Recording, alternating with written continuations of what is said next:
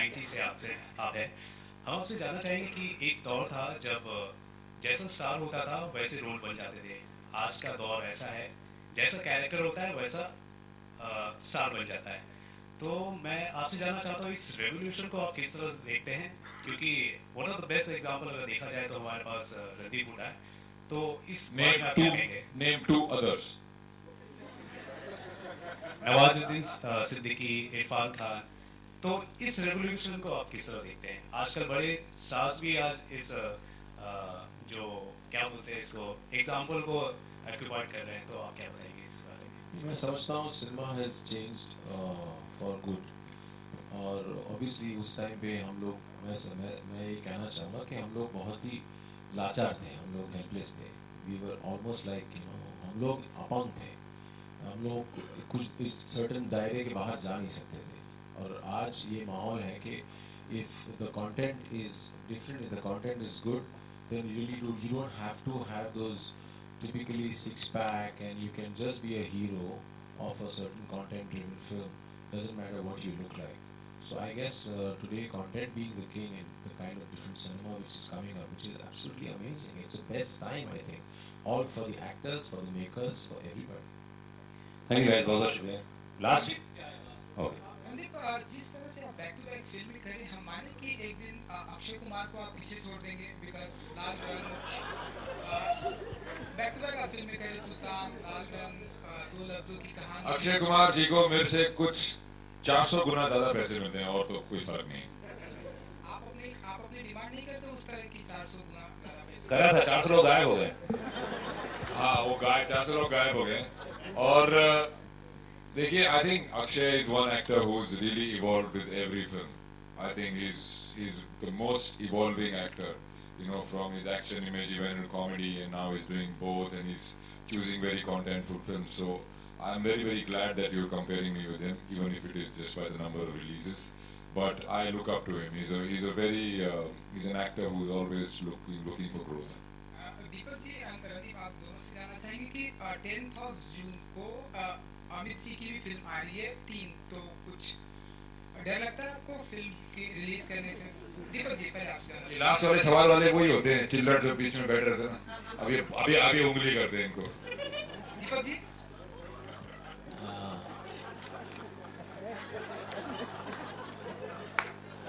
मैं सिर्फ़ इतना कहूँगा कि वो आ, वो film obviously it carries lot of weight उसमें बड़े बड़े मारती हैं। And we definitely respect and love all of them and I think there is enough screen space इसमें कॉम्पिटिशन की बात नहीं है। They are also having enough screens we also having enough screens so there is no such competition between us मैं बोलना चाहूँगा, ये दो फ़िल्मों की नहीं बात है। चार फ़िल्में थी इस दिन इस दिन पे। दो पहले मैंने बताया कि दो पीछे हो गए। तो किसी भी बात का डर नहीं था। बिल्कुल भी डर नहीं। रणदीप आप कुछ कहना चाहेंगे आपके साथ में आपके साथ में तीन फ़िल्म रिलीज़ हो रही है All the all the best to them. All the best to them. They're very different films and they'll find their different audience. Okay Deepak ji आपसे जानना चाहूँगा कि अभी अभी जयंतीलाल जी ने कहा कि ये फ़िल्म जो है भट्ट साहब के फ़िल्मों की याद दिलाएगी और अभी अभी आपने लव स्टोरी की बात की तो हम ऐसा माने कि एक दिन आने वाले दिनों में आप फिफ्टी शेड्स ऑफ़ ग्रे जैसी फ़िल्में बनाएँगे। हाँ मेरी yes. मेरी और दीपक की बात चल रही है। Yes, yes. और उसमें हीरोइन की भूमिका शायद बता दो नहीं। नहीं बता नहीं नहीं सरप्राइज़ है actually we are making 61 shades yes 50 is not enough yes और शेड्स में हीरोइन रहेंगी? दीपक जी आपने मेरे सवाल का जवाब दीपक सर बोलिए सर सही कहा सर। ऑलरेडी हमारा सब चल रहा है planning sixty one sheets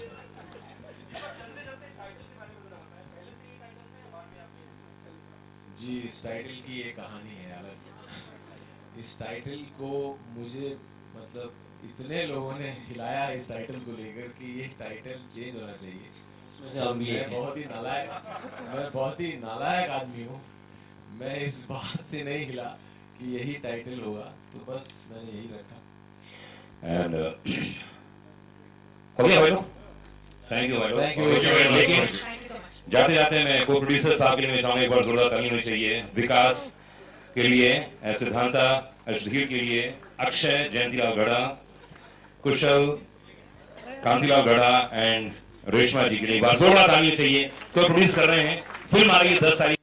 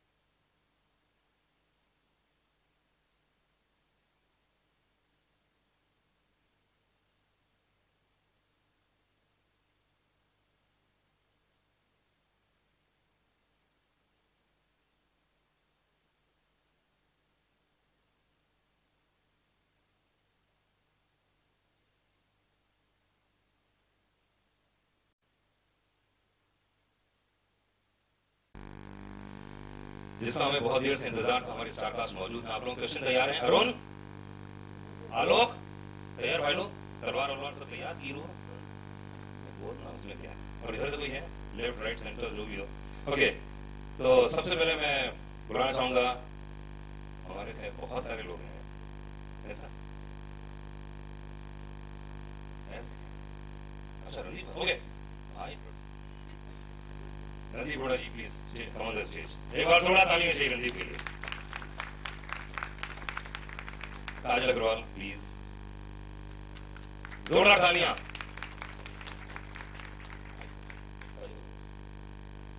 Randeep को प्लीज़ जरा माइक्रोफोन दीजिए.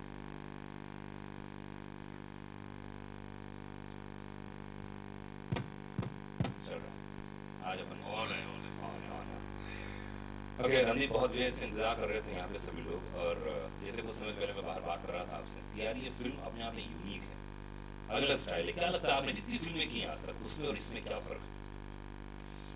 एक तो हेलो एवरीबॉडी एक तो ये मेरी पहली बोनाफाइड कमर्शियल लव स्टोरी है। अब तक मैं या तो लड़की छोटी या बहुत बड़ी या बहन या कुछ। इसमें ऐसा कुछ नहीं है। मेरी पहली बोनाफाइड कमर्शियल लव स्टोरी है। और uh, मैंने कभी uh, अपने करियर में किसी को घूसा नहीं मारा था फ़िल्म में। वैसे तो काफ़ी हो जाता है हमारा। फ़िल्म में नहीं मारा था तो मेरी दीपक किशोरी ने मेरी सारी भड़ास एक ही पिक्चर में सब निकाल दी। So it's very special and of course we got uh, beautiful Kajal Agarwal in the film. It's a very unique film. It's about two people who are uh, lonely souls in a foreign city and uh, how they meet and what happens. One is handicapped by his head and heart, the other is handicapped by her eyes. And these two broken people come together, and what happens to them is the story of the film. They meet by fate, but there is a bigger fate uh, which they are not aware of, which is playing games with them, and that is a story which often happens in love. I think love is love and fate are very related. Kajal बहुत दिनों बाद नज़र आ रही हैं। हाँ जी बिल्कुल। Hi everybody